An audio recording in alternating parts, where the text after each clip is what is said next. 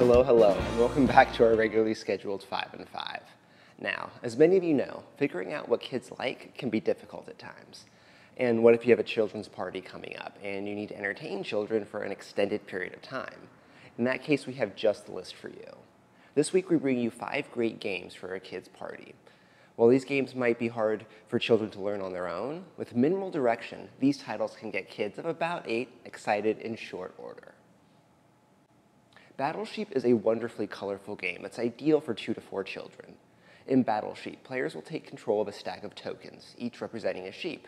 On your turn, you will move your stack of sheep in a straight line across the board as far as you can go, while leaving at least one sheep behind each time you do so. In this way, the spaces on the board will get filled, and you can't move over other sheep. Your goal is to corner your opponent's stack of sheep so on their turn, they can't move. With simple rules and easy to grasp strategy, this game will probably see a few sheep battles before kids are ready to move on to other games. Ghost Blitz is a great combination of quick thinking and quick moving, two things kids love competing in. In this Cafe Classic, you will flip over cards, which will indirectly tell you which game piece to grab. Be the first to grab the right piece to win that point, but grab the wrong piece and lose a point. While you'll definitely need to clear the table of anything that a diving child could knock over, this game is great for kids thanks to its race-type aspect.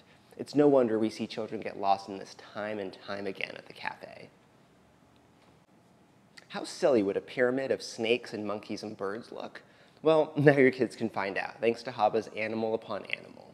In this classic, each player will place an animal in a stacking pyramid structure. But to make sure no animals fall off while you're doing so, or you'll have to take two animals back into your pool. The first player to go through their pool of animals wins. The tactile and dexterity elements of this game help kids of various ages engage quickly with this and add a constant threat of knocking animals over to the stack, and it's easy to see why this game has been so popular with children since its release. One of this year's Spiel des Jahres nominees, Karuba lets kids play an Indiana Jones-style adventurer, making their way through untamed jungles to find ancient treasures, and of course, grab a few to take with them. Part of this, what makes this game so good for kids is how balanced it is, with each person getting the same starting board and using the same pieces at the same time. There's no way a kid's gonna walk away from this crying about things being unfair. Include the excitement of the lotto-style way in which you find out which piece you get to use next, and it's easy to see why this game goes over so well with the youngins. With a theme almost every child can get behind and great art, kids are going to actively want to like King of Tokyo. In this Richard Garfield title, each player controls a kaiju-style monster that's attacking Tokyo.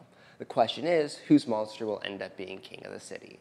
Well, you'll find that out by rolling satisfyingly chunky dice, attacking other players, replenishing your health, and earning those all-important victory points. The rules themselves are a simplified version of Yahtzee, making it easy to learn and a proven formula when it comes to entertaining kids. Really, there's almost no going wrong with this great, great title. Well, that's it for our list and our video. Don't forget to leave us any questions, omissions, or grievances in the comments below.